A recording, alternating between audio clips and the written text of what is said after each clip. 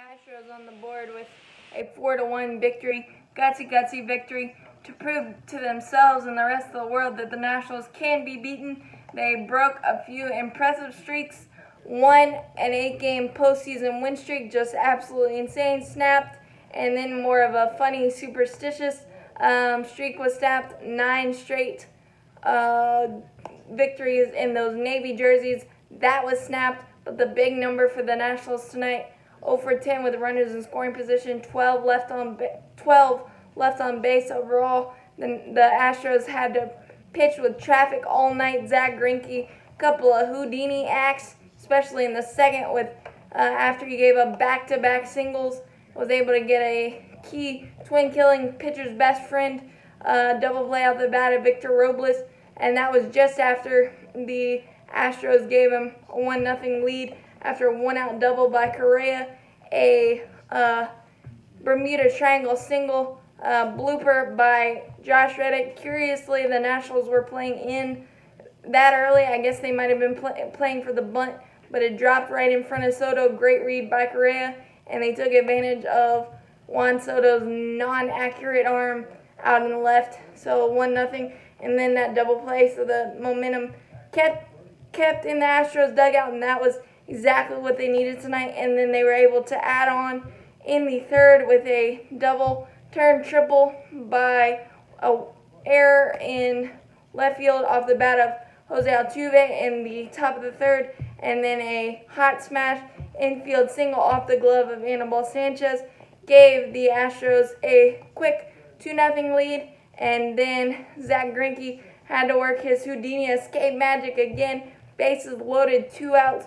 Asdrubal Cabrera at the plate broke out his best pitch and gutsy pitch, 68 mile an hour Anibal Sanchez esque Eephus pitch to get out of that jam.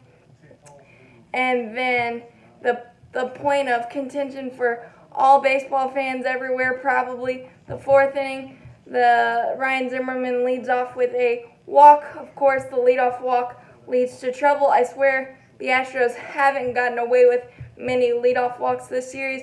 Didn't get away with it in that inning either because Victor Robles went out triple. So you got two to one. Victor Robles at third with one out. Anibal Sanchez on deck. Do you pinch it, Anibal Sanchez? Virtually guarantee yourself a tie with the infield in and the Nationals' great ability to uh, make contact this postseason. I don't know, but um, I think Davey Martinez was thinking you can't expose your bullpen too much because it is only game three, and Anibal Sanchez was still only down one at that point, and but Zack Greinke was able to take advantage by striking out Sanchez and getting uh, Trea Turner, the speedster, to ground out to him on a great play by Greinke. Wasn't as easy as uh, the MLB at bat might put it, just a soft grounder. Now it was tricky. Uh, good thing Zack Greinke is a gold glover and knows what he's doing defensively. But got out of that jam.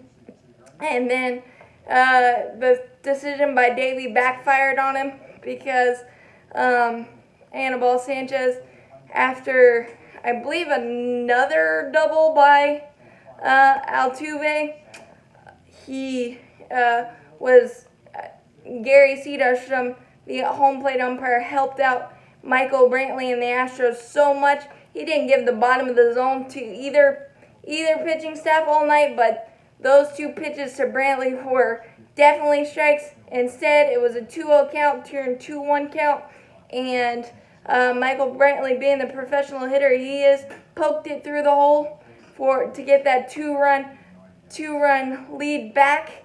Um, so three to one. And then uh, another key sequence. It ended up second and third, two out in the top of the fifth, or bottom of the fifth for the Nationals after a leadoff single by Adam Eaton just squeaked it through the hole, and then a, a two-out double by Asdrubal Cabrera.